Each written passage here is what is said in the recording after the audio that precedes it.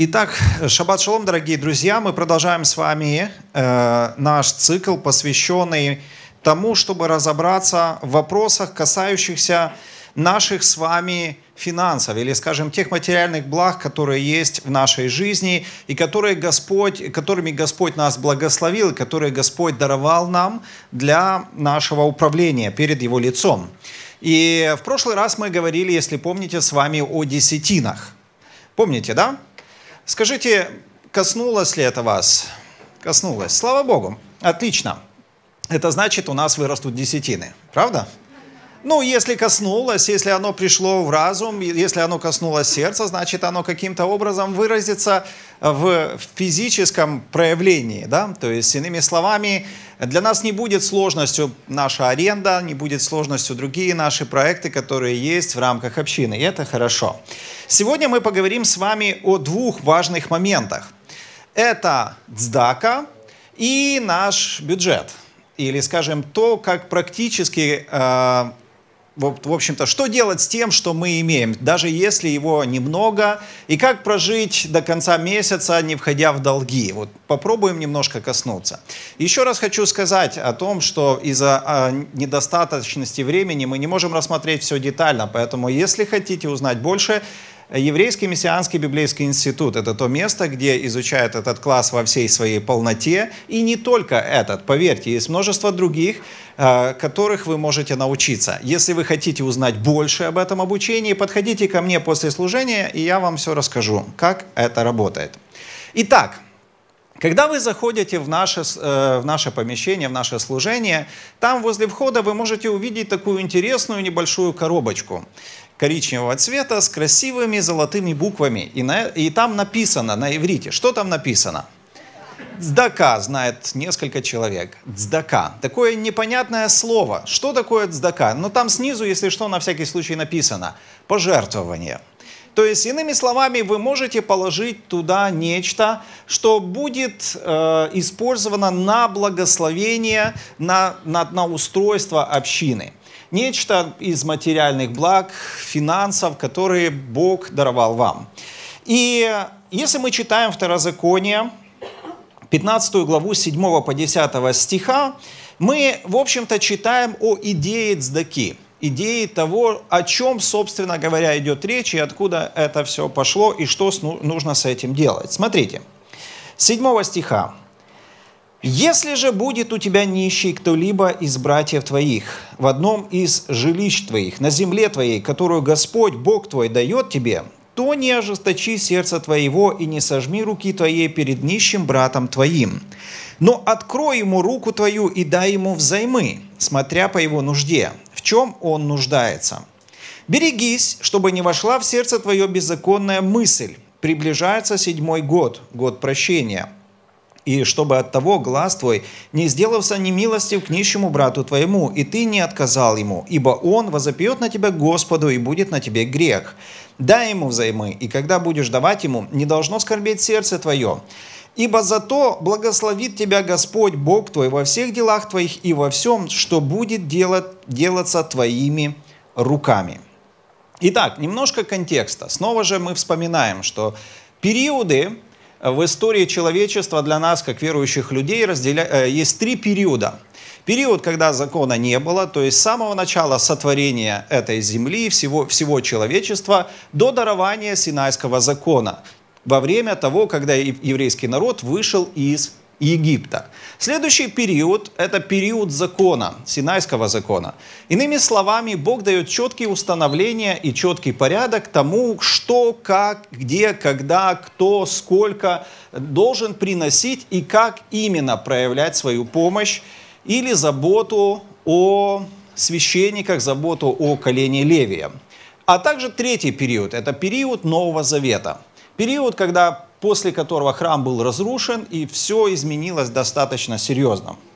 Когда мы читаем это место Писания, мы помним, что это место Писания относилось конкретно ко второму периоду, периоду Синайского договора. То есть Бог говорил, мы в прошлый раз с вами разбирали о том, что есть три формы э, десятин, три, три варианта того, как нужно реагировать на бедность и нищету вокруг тебя, а также как заботиться о служителях.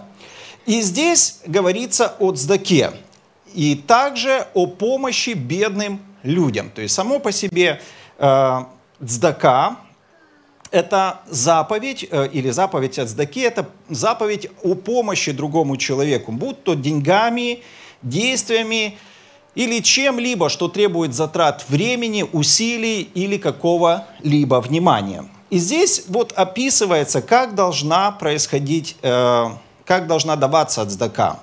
Можно увидеть, что цдака – это не просто милостыня. Иногда мы путаем эти вещи. Подайте милостыню. Знаете, вот мы приходим, говорим, дайте милостыню. Цдака – это не милостыня. Цдака – это своего рода баланс. То есть через это действие э, Бог приносит определенную справедливость в общество. Как выглядит эта справедливость? Одному он дал больше, одному, другому дал меньше. Пускай тот, кому дали больше, он поделится с тем, у кого есть меньше. И таким образом придет баланс, придет как бы справедливость перед лицем Божьим. Прояви милость, открой свое сердце, сделай что-то для того человека, у которого ничего нет. Это слово, вот сдака само по себе, оно происходит от такого слова, как цедек. Слышали, да? Цадики есть такие, особые люди, то есть люди, которые праведны. Прояви действия праведности, прояви действия чистоты. Итак, когда мы оказываем пожар поддержку кому-либо, когда мы хотим поддержать кого-либо, очень важно это сделать правильно. Согласитесь, было ли у вас такое в своей жизни, когда вам кто-то что-то давал, но вы почему-то не чувствовали себя благословенным? Вот просто, вот человек, вот он дает вам, например, 10 гривен, а ты не хочешь их брать, хотя нуждаешься, хотя вот оно тебе нужно. Почему? Потому что человек, когда дает, он делает это, например, с гордостью. И ты чувствуешь себя ниже плинтуса, просто, вот просто ты чувствуешь себя нулем полным. Или, например, бывают такие варианты, когда э, кто-то что-то, вот, вот, ну просто люди, я видел такие вещи, люди общаются, верующие, и кто-то говорит, а ты знаешь, у меня есть вот там курточка, она как раз будет на тебя, вот я принесу там. И тот человек говорит, Боже, как слава Господу, это такой ответ от Бога, я так благодарен тебе. И все, и не несет. Видели такое, да? Ну, он, он как бы обещал, его за язык никто не дергал. Просто говорили о том, что я мерзну, он говорит, у меня есть курточка, я принесу, такая на тебя будет там модная, сильная, классная, теплая. И не несет. Вот что делать? Ну, с одной стороны, человек сказал слово, да, с другой стороны, пообещал, с третьей стороны, человек реально мерзнет. Ты, а, напомнить, правда? Ну, ну, конечно, нормально напомнить. Но согласитесь, когда ты приходишь и говоришь, мне очень сильно неудобно, э, я, конечно, сильно извиняюсь, но вот когда-то мы говорили, где курточка, да? Можно предисловие, как... без предисловия. Где курточка просто, да? Обещанная. А где обещанная? Не, можно еще сказать по-другому. Где мое? Правда? Ну ты ж пообещал, значит оно уже мое, просто в твоем шкафу где-то там лежит. Ну, а, ну как обещано? Все, слово сказал, я принесу, значит мое. Согласитесь, что в этот момент человек не может чувствовать себя приятно, правда? Почему? Потому что ну, тот человек, он может э, забыть, действительно просто забыть. А бывает такое, что люди используют вот этот момент, что у меня есть, а у тебя нет, и ты будешь об этом чувствовать. Вот как бы ты будешь, я буду этим в определенном смысле манипулировать тобой, я буду в определенном смысле как-то вот, согласитесь, наши э, даяния некоторые, они происходят некоторые таким образом, что э, это дает повод к манипуляциям. И очень много в этом можно, об этом можно говорить. Вы мне теперь типа должны, я вам дал эту курточку, теперь вы там не можете мне ничего сказать. Э, а вот или если я там помогаю кому-то, бывает такое, например, есть э, в церкви или в общине человек, давайте скажем так, условно верующий, да, но так случилось, что богатый. И вот он помогает многим людям. И такое ощущение, что все теперь должны закрыть э, глаза на его грехи. То есть ты не можешь особо говорить с ним даже о грехе. Почему? Потому что ты понимаешь, что ты, э, ну, как бы, вот ты зависишь, еще 10 человек зависит, и он оплатил вот это, и вот это, и вот это. Ну, и он этот человек, он периодически может даже напомнить об этом.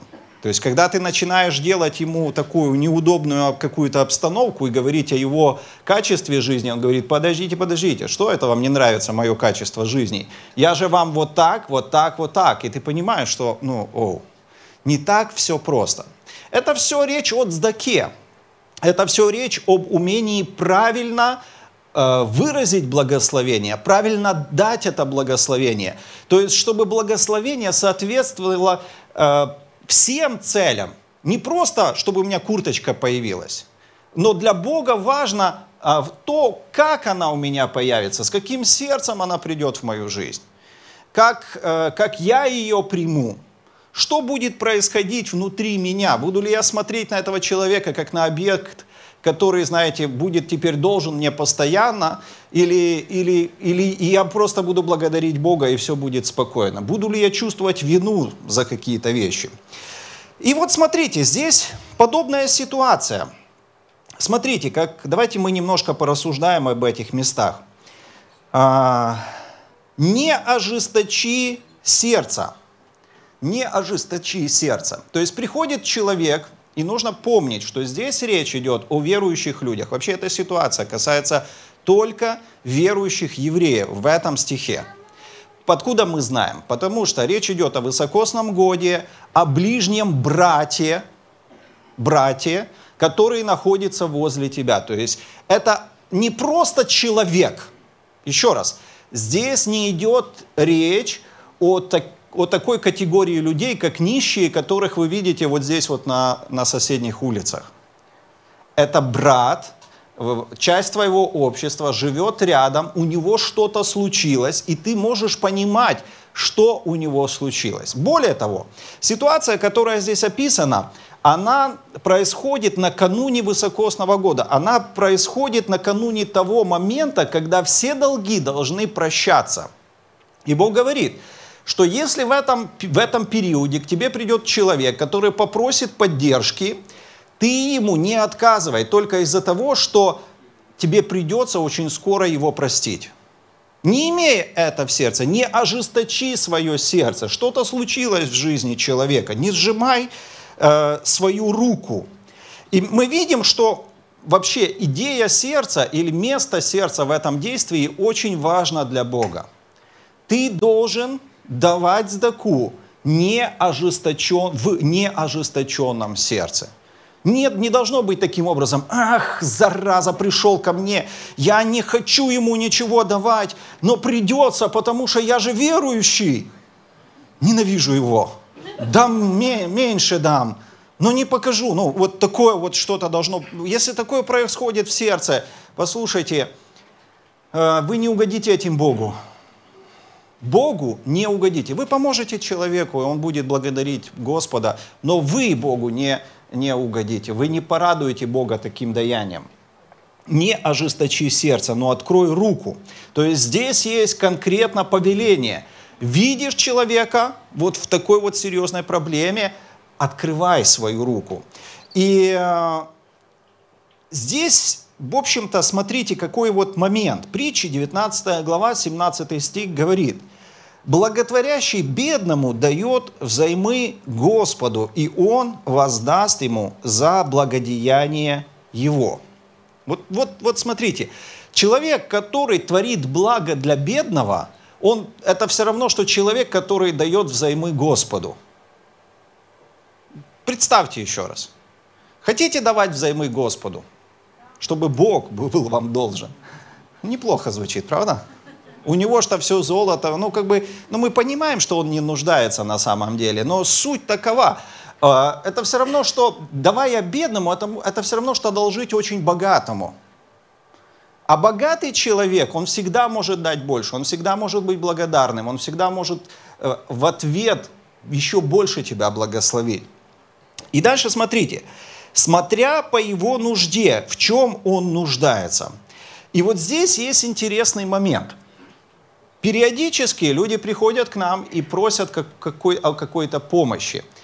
И мы не хотим слушать их. Мы хотим просто откупиться от них. Было у вас такое? У меня было. Ну, было, честно вам скажу. Когда ну, он приходит, тебе что-то там рассказывает, какие-то басни, какие-то истории. Может быть, я не хочу это слушать просто.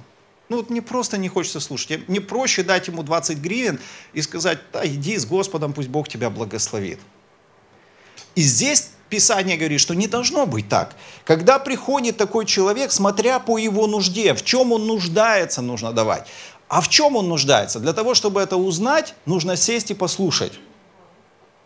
Нужно сесть и послушать, потому что окажется, возможно, ему не деньги нужны. Окажется, возможно, ему нужна какая-то поддержка, совет, иногда добрый совет или правильный совет – когда ты, было такое много раз, когда я просто пытался поговорить с человеком, он говорил о своей тяжелой ситуации, я понимаю, что давать ему денег нельзя, хотя ему деньги нужны. Почему нельзя? Потому что у него в голове совершенно неправильная программа распоряжения денег. Он сразу же их потратит. Он сразу же куда-то там их, э, понимаете, да? И, и, и ты думаешь, «А зачем? Куда? Лучше я научу его. Он не хочет работать, он не хочет брать ответственность за свою жизнь. Он просто хочет, чтобы люди приходили, он приходил, рассказывал, какие у него обстоятельства, и дайте мне денег. Не могу я тебе давать деньги. Не могу, потому что я исследовал твой вопрос. Я понимаю, что тебе надо просто найти работу, правильную работу. Иногда люди бывает такое, что у них в голове, я помню, как-то общался с одним человеком, он так достаточно бедно жил, и я говорю, ну, ну пойди на работу. Он говорит, я не могу пойти на работу, потому что я, я специалист. Э, я э, когда-то был директором завода э, такого серьезного, и я торговал там углем, просто составами, я торговал там пшеницей составами и так далее. Я за, за месяц зарабатывал там то, что многие люди за 10 лет зарабатывали. Поэтому Э, я вот ищу такой контракт, ищу, ну вот такой вот, знаете, вот такой вот. Вы бы видели этого человека. Бедный, в, какой- в какой-то странной одежде, семья сильно нуждается, просто невероятно сильно нуждается. Но он не хочет поменять в своей голове. До сих пор, кстати, он бедный. Уже прошли лет 15, наверное, с того разговора, до сих пор они бедно живут.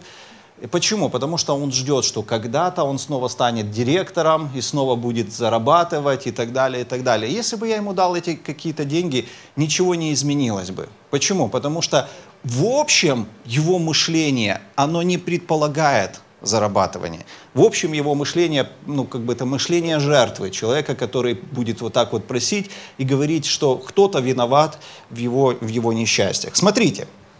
Итак, смотря по нужде, в чем он нуждается. И дальше там говорится, не должно скорбеть сердце, когда будешь давать. То есть, иными словами, когда вы даете, взвесьте свое сердце, не должно быть там скорби. Вот просто не должно быть там скорби. Отдал, не сожалейте о том, что вы отдали. Отдал и отдал. То есть, но, но смотрите, если вы поступили так, как здесь написано в этом месте Писания, если вы сели с этим человеком, уделили ему время, вы поняли его нужду, возможно, его нужда больше даже, чем он просит, и вы можете ее восполнить, вы дали, может быть, даже больше, чем он просит, это правильно. И ваше сердце, оно открыто. Давайте без сожаления. Давайте без сожаления, давайте просто отпуская и благословляя Господа и говоря, вот, Боже, на этом моменте я понимаю, что я поступил правильно. В моем сердце нет, нет злости, в моем сердце нет желания манипулировать. И я вас очень прошу, всегда помните, дали и забывайте. Все, вот просто пускай это будет дали и забыли. Не надо потом говорить, я когда-то вам помогал, я вот столько там делал. Не стоит это того. Не стоит. Итак, нищие люди, они всегда будут вокруг нас. И нужно понимать, как с ними обходиться. Я вам скажу честно, я практически никогда не даю людям, которые на улице, помощь. Ну вот, нищим, которые вот сидят, знаете, там отстал от поезда или еще что-то. А, почему? Почему? Потому что я понимаю, что во многом это бизнес. Вы можете поступать как хотите. Я говорю о себе сейчас. То есть, если ваше сердце влечет вас, и вы тот человек, у которого, знаете, вы идете домой, и каждый, кого вы видите бедный, вы ему даете, пускай вас Бог благословит в этом. я понимаю, что на самом деле э, в нашей заботе друг о друге для меня приоритетом имеют те люди, которые братья и сестры мне, в первую очередь. Э, может быть, это сложно сейчас вот как бы как-то осознать, но вы знаете, что здесь, в этих законах о финансовой поддержке не шла речь о язычниках. Еще раз. Законы, о которых говорилось здесь в Писании, они были направлены на устройство еврейского общества. То есть люди могли помогать пришельцам. Пришельцы – это те, которые пришли, то есть это не евреи, точно так же, как евреи, но они поселились среди еврейского народа и стали теми, кто с почтением относится к традициям и образу жизни евреев. То есть это те люди, которые живут рядом с тобой. Да, физически они не евреи, но тем не менее они разделяют часть твоей жизни. Понимаете, да? Если же говорить о вообще чужих людях, ну вот имеется в виду языческого, языческих племен какие-то, то еврейский народ, он вообще не пересекался с ними. Помните, какое отношение было к самарянам? То есть самаряне это были евреи, которые были смешаны с другими народами, и уже они были нечисты. Тем, не ме... Тем более, если мы говорим о каких-то народностях, которые явно э, идолопоклонники и явно язычники. Итак, Писание говорит, что мы будем стараться делать добро всем, но наипаче кому? Всем своим, тем, которые свои по вере. Вы, как люди свободные, можете распоряжаться вот всем своим имуществом и, и давать его в любую сторону. Но мы должны понимать, что в первую очередь для нас, как верующих людей, есть ответственность для заботы о своих людях. И знаете что? У нас в общине очень много людей, которые нуждаются в финансовой помощи. Вам нужно просто посмотреть вокруг. Иногда я такое слышу, когда приходят к служителям и говорят, «А, если у вас там есть какие-то люди, вы мне скажите, ну, как бы, и там, я дам денег, например, да? Звучит оно, в общем-то, неплохо, с одной стороны. Но с другой стороны, это говорит о том, что человек сам не вникает в то, как э, устроена община и что происходит в общине. То есть, иными словами, я не хочу садиться с кем-то, я не хочу с кем-то вникать в его жизнь э, или там как-то там участвовать в жизни тела э, Христа. Я просто хочу там дать денег, вот все, вот это моя цдака. С одной стороны, это действительно может быть цдакой, но с другой стороны, будет лучше, если мы начнем замечать нужды друг друга. Если мы начнем реагировать на эти нужды, будь то финансами, будь это временем, будь это какой-то поддержкой или какими-то, э, какой-то нашей реакцией. И всегда нужно помнить, что не всякое благословение – это на самом деле благословение. Можно так благословить человека, что он будет очень сильно не рад. Очень сильно не рад. Э, я помню такие случаи, это было очень-очень давно. Однажды там один человек, он, э, ну так, я попросил его посидеть с моими маленькими детьми, они тогда были очень такие маленькие. Мы ушли с женой на служение, и я помню, мы приходим, весь дом просто перевернут дно, ну, вот, дном. Человек просто пришел, человек просто сел на диван, сделал себе чай просто читал книжку. Все, дети живы, живы, окей. И я говорю спасибо, ну, как бы все, послужили мне, понимаете, да? А думаю, мне сейчас вот 10 вечера, мне надо начинать просто полную уборку. Никто их не покормил, никто о них не позаботился, они просто себе одному 4, второму 1, понимаете, да? Они просто себе балдели. Три часа. Вот все, что хотели, то и делали. Благословил ли такой человек меня? Вот скажите. Вроде как бы да, правда? Хочу ли я такого благословения в следующий раз? Только если край – только вот если мне некого больше попросить, да, я готов был бы даже заплатить, я готов был бы как бы отреагировать на это, но пускай благословение будет в благословение. Или кто-то помогает тебе, например, где-то по строительству.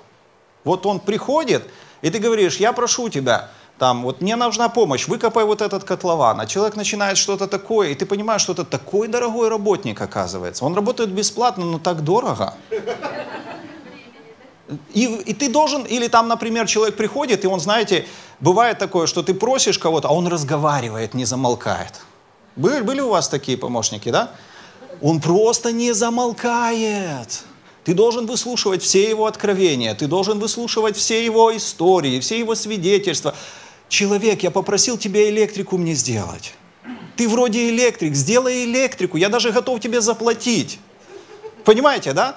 Нет, ну как бы мы ж как бы вот общение. Вот теперь, послушайте, не всякое благословение, которым вы благословляете, оно может быть в радость и действительно приносить славу. Потому что человек такой уходит и думаешь, слава Господу. Тишина и покой. В следующий раз ты думаешь, я найму просто неверующего человека, это будет мне стоить те же денег, он быстро сделает, я могу с ним вообще не разговаривать, потому что он делает дело, а не чаи пьет с тобой. Видели такое, да? Давайте будем теперь чай пить. Ну окей, но у меня нет времени. Ну, но ты не можешь ему это отказать, потому что он тебе помог и сделал это. Итак, о чем я хочу сказать? Наша цдака – это дело очень тонкое. Это дело, которому нужно учиться. И она должна быть в простоте нашего сердца с одной стороны, но она должна быть также дальновидной с другой стороны. То есть мы не можем, ну как бы не все, что мы делаем, это цдака, даже если мы делаем это для человека какого-то и делаем это хорошо, как бы скажем, обогащаем его жизнь. Смотрите более широко, как это происходит, что происходит в вашем сердце. Итак, если мы говорим о даяниях, Новый Завет нас учит следующему. Матфея 6 глава, 1-4 стих.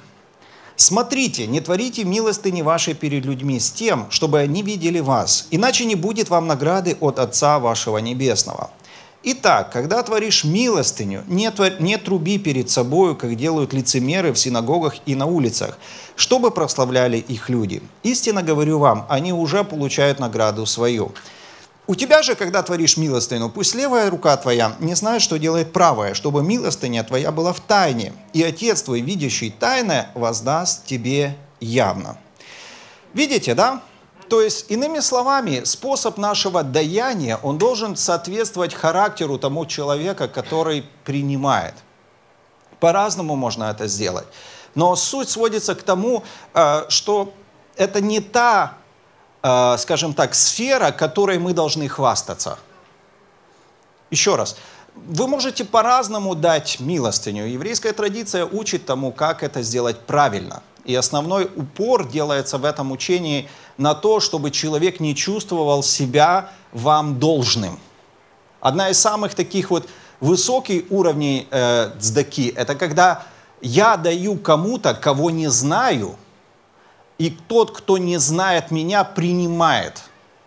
Тогда никто никому не должен, понимаете, да? Как это может происходить? Например, э, я поставил вот здесь коробочку и говорю, вот здесь есть возможность у вас поучаствовать в тайне, никто не будет видеть, на поддержку, например, какого-то миссионера.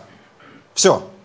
И вы приходите, кладете туда свою денежку, да? Вы не знаете, кто этот миссионер, где этот миссионер я передаю какому-то миссионеру, которого никто не знает, да, и говорю, есть люди, которые захотели тебя благословить.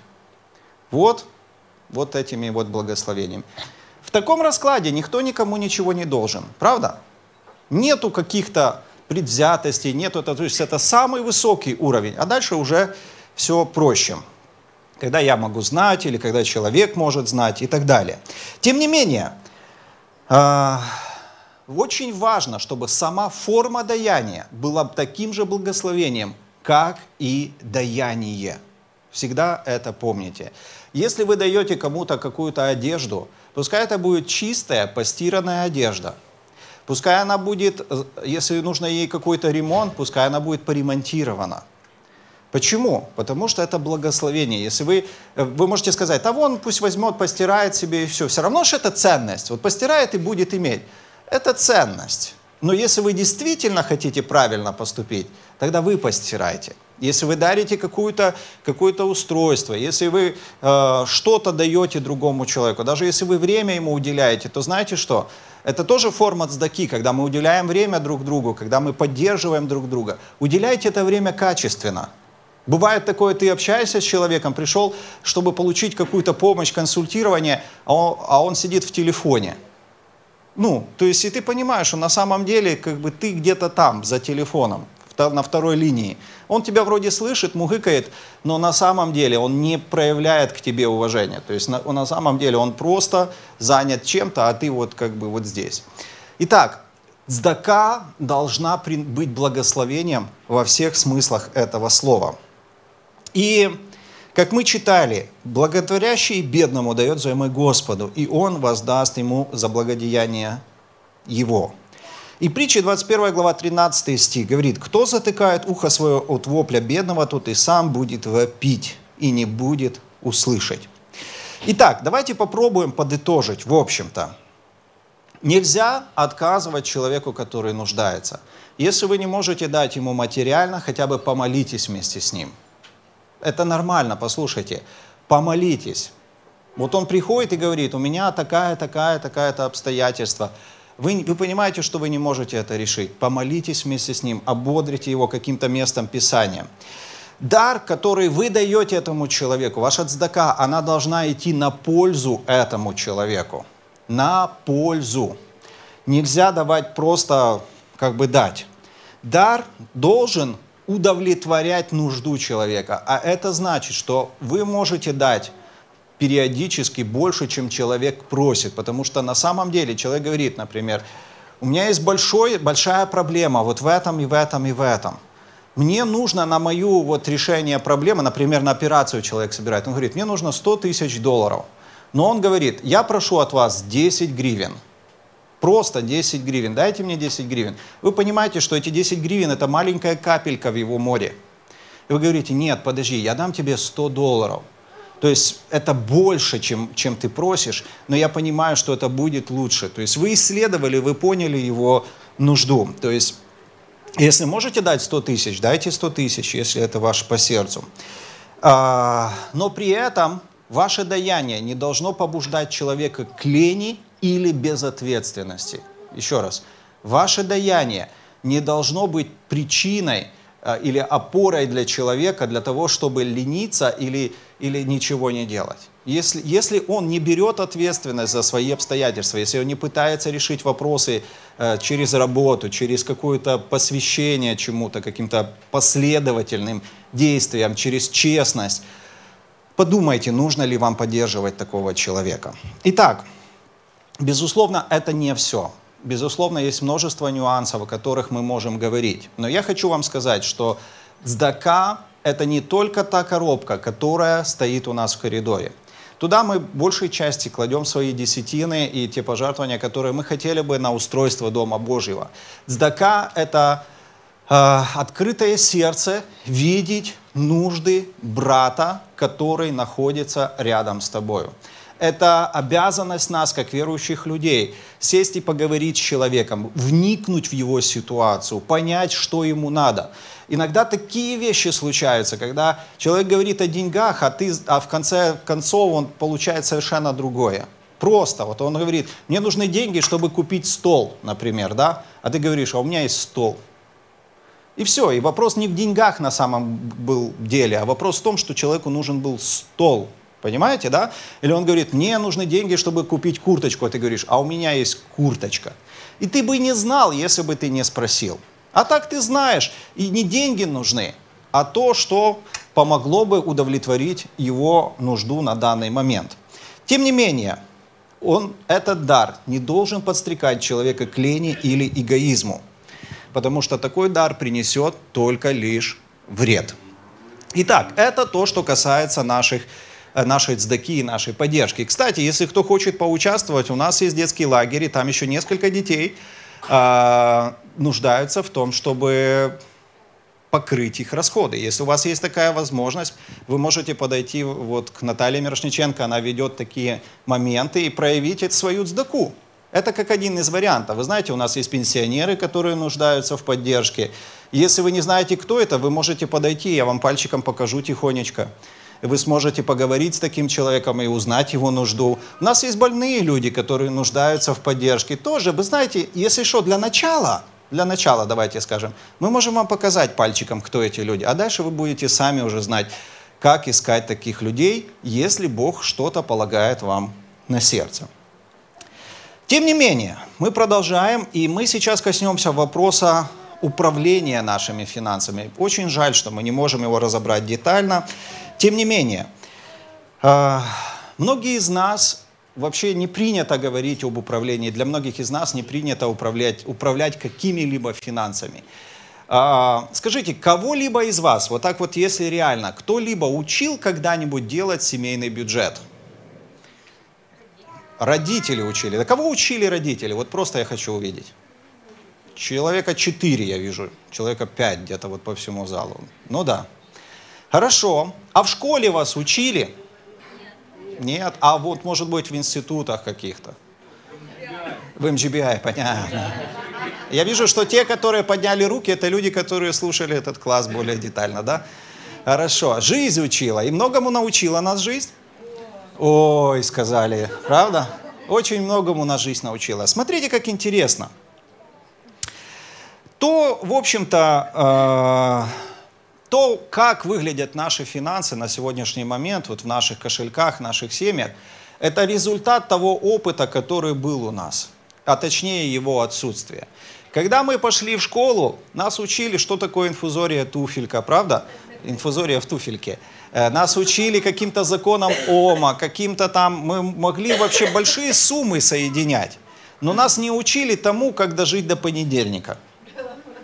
Правда? И очень часто так получалось, что люди просто одалживают сначала по чуть-чуть, потом больше. Есть определенная культура долга в нашей среде. Встречали такое, да? Культура такого вот, я не, не свожу концы с концами. Это результат на самом деле нашей неопытности, и который приходит из детства, приходит из семьи. Есть разные семьи. Вот я встречал семьи очень щедрых, щедрых людей. Встречали такое, да? Вот просто ты приходишь в гости, и люди, ну вот, как бы щедры во всем. И вот это происходит легко. Есть семьи, которые очень скупы они вот как-то вот так все держатся, и каждый там вот... Есть, есть определенная культура. Мы говорили недавно э, с, с одними знакомыми, они рассказывают, что их знакомая сдавала э, собеседование то ли в голландском посольстве, то ли где-то на гражданство. То есть она заполняла анкету на гражданство. И там вот в анкете разные вопросы, которые касались культурных различий. Понимает ли она или не понимает, чтобы как бы принять ее в, граждан, в граждане или не принимать. И, например, вот такой вопрос. Вы пришли в гости, и на столе стоит печенька. Сколько печенек вы можете скушать? А? Нет, ну вот мы же говорим о Голландии, правильно? Вот, вот, то есть это тест на, на голландское, ну, как бы, гражданство. Нет, сколько? Сырное. Ты можешь скушать одно печенька. Почему? Потому что тебя одного пригласили, и так вот в культуре ты можешь скушать одно печенье. А если ты пришел неожиданно, но к своей маме, и на, и на столе лежат печеньки, сколько ты можешь скушать печенье? Ни одного. Почему? Потому что тебя не ждали в гости. Все серьезно. На самом деле. Понимаете, это наследственная традиция э, в определенном смысле распоряжаться теми благами, которые есть. Правда? То же самое, если вы придете в Украину, сколько печенек ты можешь скушать? Сколько успеешь? Правда? Можно с собой еще взять, за каждую щеку. Вам еще и дадут с собой. Правда? Только у нас вот приходишь ты без ничего, а уходишь с тортиком для своей жены и для детей. И еще остается, никто не обижен. Смотрите, есть культура, есть определенные привычки. Точно так же и с финансами. Когда мы говорим о сбережении, когда мы говорим о тратах, есть культура. Мы так привыкаем относиться к тому, что мы имеем. Либо сберегать, либо тратить безумно. Вот просто мы поехали куда-то и трачу. Или там, например, мы привыкаем, наш ребенок идет, ноет, и мы покупаем все, что он хочет. Привычка, да? Привычка. И дети привыкли, поэтому ноют и знают, что получат. И мы привыкли, потому что мы сначала знаем какое-то количество нытья, которое надо продождать, а потом мы ему купим. То есть все это говорит о, о подходах, все говорит о взглядах. А поскольку у нас Мало кто из родителей учит. Нас не учат этому ни в школе, ни в институте. Э, мы сталкиваемся с определенными доктринами в, в, в церкви. Это же формирует определенную культуру даяния, правда? Или недаяния, например. Мы ну, как бы сложно реагируем на эти ситуации, мы сложно справляемся. И на самом деле все, что нам нужно, посмотреть вообще на принципы Писания – посмотреть, что Библия говорит о, о распоряжении, посмотреть, что Библия говорит о сбережениях как таковых, о планировании. Вообще, есть ли такое понятие, как планирование? А, вообще, нужно ли нам что-либо откладывать? Я помню, когда-то э, кто-то из верующих мне говорил, там, типа, по, по такому принципу, послушай, планирование финансов – это не от Бога. Я говорю, почему? Потому что ты пытаешься распланировать своего будущее, которого нет. Ты не доверяешь Богу. Вот живи сегодня и все. Ну, такое вот мышление. То есть, вот как бы вера у тебя есть? Есть. Ну, значит, трать. Вот тебе сегодня есть вот столько денег, трать, а завтра Бог позаботится. И ты так думаешь, боже ты мой человек, вообще как можно жить, если ты так, так подходишь? Вообще, он говорит, ну так же ж, если ты так не живешь, значит, ты не живешь верой. Ты пытаешься жить разумом. Ты пытаешься высчитать, пытаешься как-то... Вы знаете, если бы мы все так подошли к такому, ну вообще к верой, вот такой вот, скажем так, да, я не знаю вообще, как выглядел бы мир вокруг нас. Ну, просто. Ты, ты работаешь, и ты не знаешь, получишь ты зарплату или не получишь. Ты как бы... Да вообще, я не представляю, как может существовать мир, если мы не планируем, да? Мы можем располагать планами, мы можем что-то закладывать в наши идеи. Сбудется или не сбудется, во всем есть Господь. Любой сеятель, который сеет, он сеет с надеждой получить что-то обратно, правда? Но все же над этим есть Бог. Не пошел дождь, и как ты не посеял, как бы ты хорошенько вот это зернышко не положил, чтобы оно было вот одно в одно. Если Бог не даст дождя, оно не вырастет. То есть в любом случае все приходит к Богу. Поэтому мы тоже должны стараться распоряжаться финансами в нашем понимании, спрашивая Господа. И если Он благословит нас, у нас получится. Если Он хочет перенаправить это каким-то другим образом, ну значит это будет перенаправлено. Один из самых таких ярких примеров человека, который распоряжался финансами, это кто у нас? Иосиф, совершенно верно один человек сказал вот здесь. Иосиф, человек, который благодаря тому, что у него был бюджет, спас огромное количество людей от смерти. То есть, что он сделал? Он получил откровение от Бога собирать 20% всего урожая в течение 7 лет. И написано, что он насобирал столько зерна, что даже посчитать его не могли. Представляете, да? И написано, что год за годом он начал его продавать, начал скупать, скупать, и он купил все, что движется и не движется. Ну просто, он, он, ну, как бы он сделал фараона э, просто отвратительно богатым человеком. Правда? Заодно и сам стал вторым после фараона. И это послужило благословением для еврейского народа. Простой, очень простой бюджет – Иногда мы смотрим на те копейки, которые есть в нашей жизни, мы говорим, да что толку, что мне я буду с ними распоряжаться? Разве это изменит мою жизнь? Разве я могу каким-то образом как-то там стать богатым, если я буду откладывать, ну, например, 5 гривен в день? Разве это сделает меня богатым? Я помню, мы как-то рассуждали на одном из семинаров вот таких вот и считали. Предположим, есть люди, которые неверующие, и они курят сигареты, да? Ну, это такая вредная привычка, известная. Очень дорогая. Сколько стоит примерно сигареты, кто знает? Давайте возьмем 20 гривен, да? Доллар. 29, да? О, есть, не, я вот специально не хотел, чтобы, да. Хорошо, давайте возьмем 1 доллар, да? Ну, 26 пускай это будет, это будет 1 доллар, это будет более-менее честно. Пачка уходит в день. 26 гривен, так? То есть 1 доллар, 365 долларов в году, правда? Теперь мы дальше идем. В 10 лет у нас что? 3650, да? В 20 лет у нас 7, 7, 2, 7300, да? Вот, смотрите, какие у нас еще. Ну, не, ну мы берем, что только доллар. Просто 1 доллар. Всегда будет прим, да. Ну, если мы просто даже складываем под подушку, мы никуда не тратим, мы просто складываем под подушку. 30 лет, это что у нас? 10 тысяч, условно говорим, 10 тысяч. Теперь возьмем среднюю семью, 4 человека курят. Это у нас сколько? 40 тысяч, правда? Ну, мы умножаем 10 на 4, 40 тысяч. За 40 тысяч можно купить квартиру, хотя бы однокомнатную? А? Для некурящих. Для некурящих, да. Либо, а, а, либо одну двухкомнатную можно купить, да? Две однушки. Вы должны увидеть силу, вы должны уловить силу маленьких вещей. Вот почему я об этом говорю.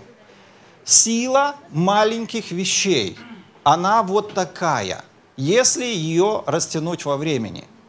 Но нужно что делать? Каждый день отложить 26 гривен. В течение скольки времени? 30 лет. Для того, чтобы это сделать, друзья, нужно быть упорядоченным человеком, нужно быть человеком цели, нужно им уметь вести бюджет. Улавливаете, да? А теперь предположим, что где-то там по дороге вы вообще молодец, вы положили эти деньги в банк под какой-нибудь процент. Пускай какой-нибудь скромный, пускай там будет 5%. Эти 40 будут 50 тысячами, правда? Через 30 лет. Поэтому, когда мы начинаем осознавать эти вещи, мы можем увидеть, что на самом деле Бог, может быть, заботится о нас, а мы и не знаем. Бог, может быть, действительно дает нам все необходимое, но мы говорим, либо все и сразу, тогда я поверю, что Бог заботится, либо я не способен ждать. Либо я не способен как-то что-то менять, я не способен искать еще дополнительный заработок или как-то размышлять, куда уходят мои деньги. И вы знаете, курение это далеко не единственный, э, такая, не, далеко не единственная вредная привычка, которая есть в нашей жизни. Есть очень много вещей, которые, в которых мы с вами совершенно не нуждаемся, но они у нас есть. Это где-то какая-то лишняя кофта, это где-то какая-нибудь ерунда. Ну вот просто ерунда. И здесь очень важно понимать, для того, чтобы правильно составить семейный бюджет, нужно в принципе разобраться в трех направлениях. Мы не будем в них детально разбираться, но я вам дам три базовых направления. Прежде всего, нам нужно разобраться в том, сколько денег у нас есть, или иными словами, каковы наши доходы. Под нашими доходами мы подразумеваем все финансовые и материальные блага, которые приходят в нашу жизнь. Для того, чтобы узнать сколько, нам нужно сесть и спокойно посчитать.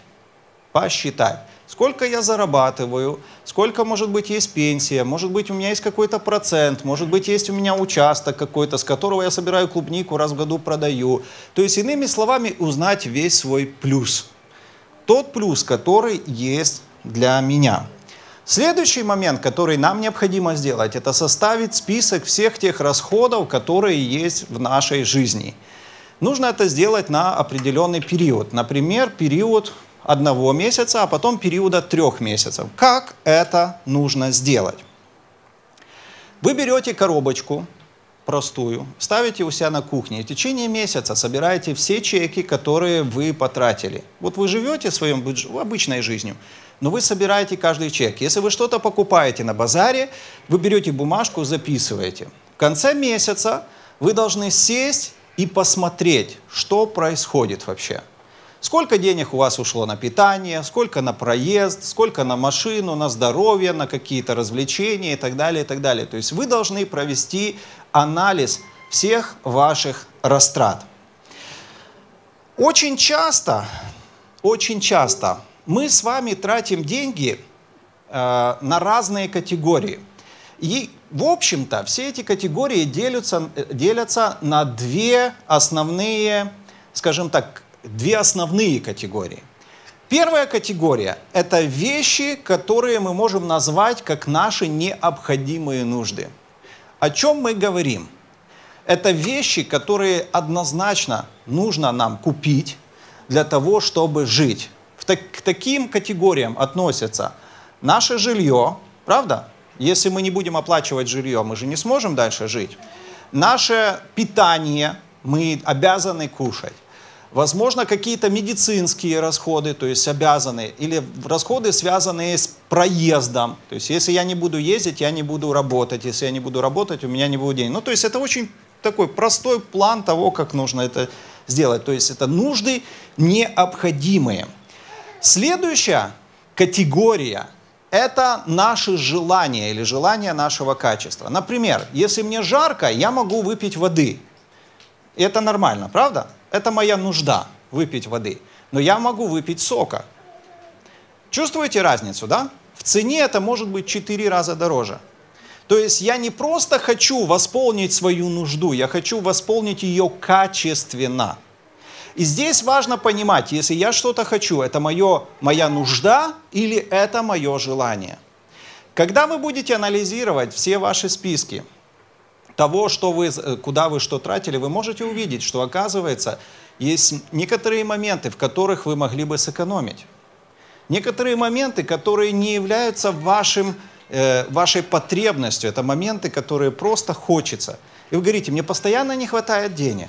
Куда они только уходят, только зарплату получил, уже нету, все. Они туда и уходят, вы сможете это увидеть. Свои желания, друзья, общий принцип, мы должны удовлетворять после удовлетворения своих нужд. То есть желания по возможности идут после удовлетворения наших нужд. И следующим, последним этапом, что нужно сделать, нужно составить бюджет и распределить свои доходы в соответствии с этим бюджетом и придерживаться его. Я не могу вам детально сейчас описать, но это возможно, как я уже говорил, в нашем институте, мы изучаем это детально, пожалуйста. Также, если вы хотели бы, может быть, получить помощь или какой-то совет или молитву, мы можем договориться с желающими на отдельную встречу, то есть мы открыты к консультациям. Если вам необходимы консультации, обращайтесь, пожалуйста, мы можем, а, мы можем больше послужить. Итак,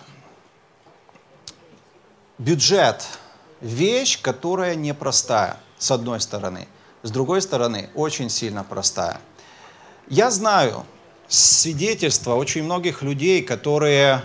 Э, свидетельства очень многих людей, которые э, следовали этому, и Бог выходил навстречу. Бог выходил из долгов, выводил из долгов. Я знаю свидетельства людей, которые обращались, вот, э, ну, вот, вот просто приходили, и там был ну, очень сильно все плохо, очень сильно плохо. Но из-за того, что последовательно действовали э, в том, что, что необходимо, выходило, выходил ответ, выходило благословение. Хорошо. Знаете, что я бы хотел сейчас, чтобы мы сделали? Я хотел бы помолиться вместе с вами. И чтобы у нас было немножко времени такого поклонения, и э, чтобы мы перенастроились. Я хотел бы, чтобы у нас были чудеса, видеть эти чудеса, видеть все то, что происходит, вот знаете, в изменении, чтобы нас знали как общину людей, которые грамотные, которые последовательные и которые не в долгах. Аминь. А община, которая имеет все необходимое для жизни и благочестия.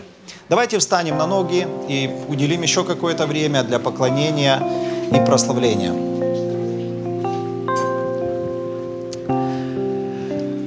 Господи, мы благословляем Твое имя. Ты тот Бог, который заботится о нас.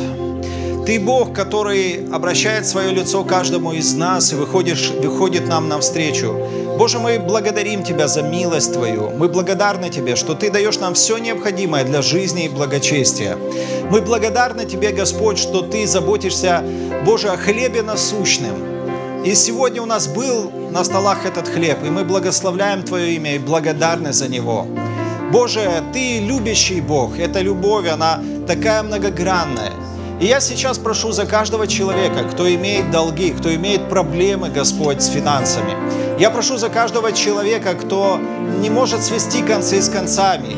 Господь, может быть, это наследие просто культуры какой-то, такой безлаберного отношения, Господь. Если это так, Боже, дай свое откровение и понимание в этих вещах, чтобы это расточительство, это проклятие, оно было остановлено, и пришло благословение, Господь, во имя Ишуа Мессии. Господи, научи нас благословлять.